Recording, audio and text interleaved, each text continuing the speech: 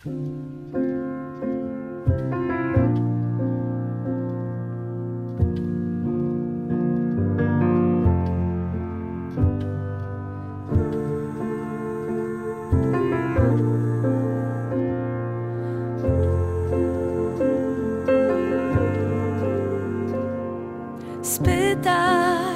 co u niej słychać.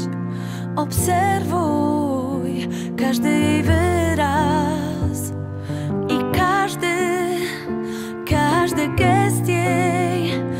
każde mrugnięcie Czy widzisz fałsz, czy prawdziwe szczęście?